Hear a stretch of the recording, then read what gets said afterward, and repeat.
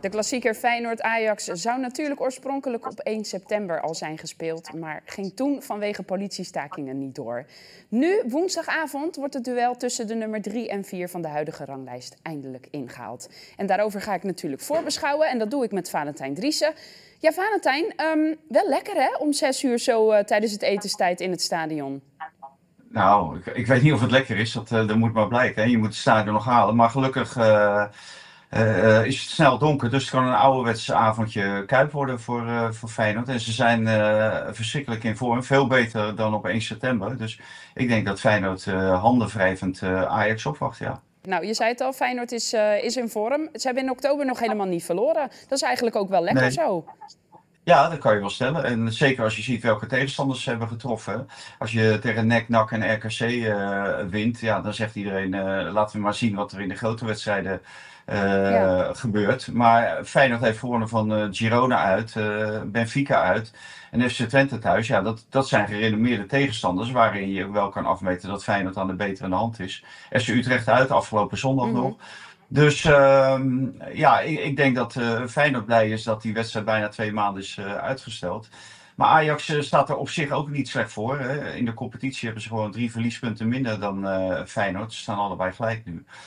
En uh, Ajax heeft de wedstrijd minder gespeeld. En verdedigend uh, ziet het er uh, ja, redelijk stabiel uit. Alhoewel bij Heracles kregen ze natuurlijk drie goals tegen. Dat was ja, niet in, in de lijn van het huidige Ajax nee. van Francesco Farioli.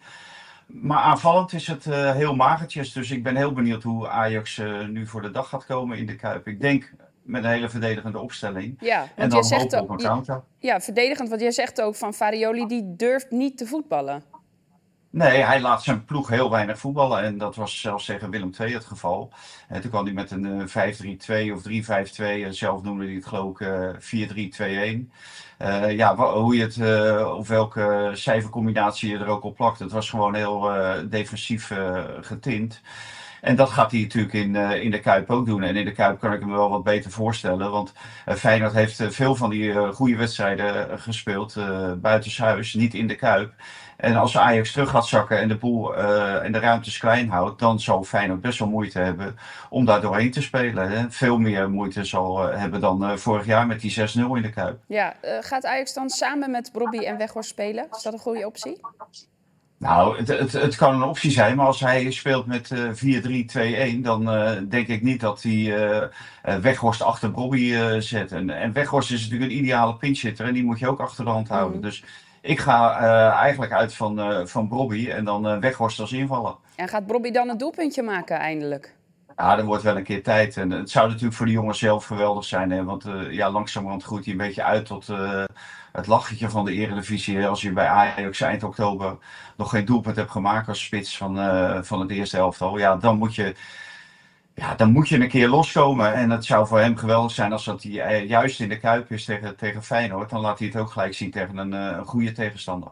Het wordt trouwens de eerste Feyenoord-Ajax met twee buitenlandse trainers sinds uh, lange tijd. Volgens mij was dat 1982 uit mijn hoofd.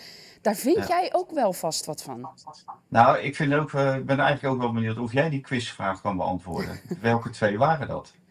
Nee, die kan ik echt niet beantwoorden. Toen nee, was ik nog niet geboren, Valentijn. Er waren uh, Vaklav Jezek van Feyenoord, voor Feyenoord en Koert Linder voor Ajax. En Koert heeft het niet heel lang uitgehouden bij Ajax. Die was uh, weer heel snel weg.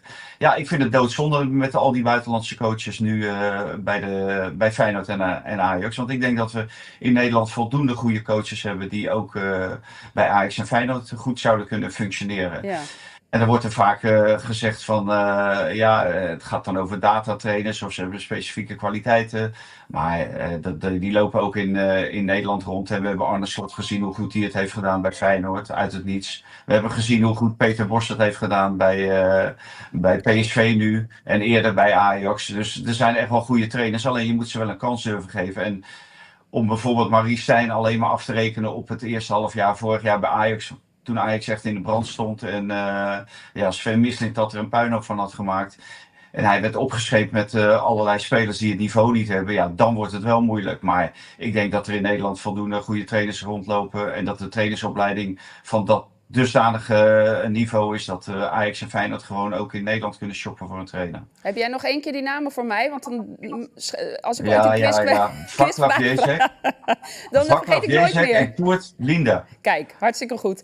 Hey, uh, tot slot, ik durf het eigenlijk bijna niet te vragen, want dan moet je je weer verantwoorden in, in een talkshow. Wat gaat het worden?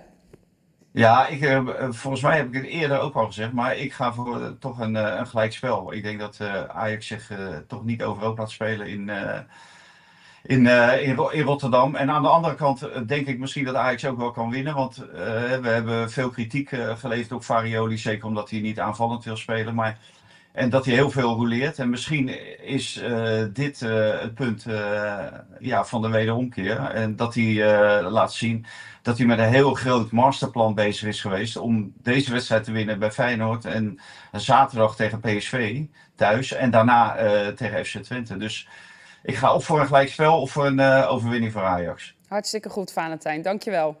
Graag gedaan.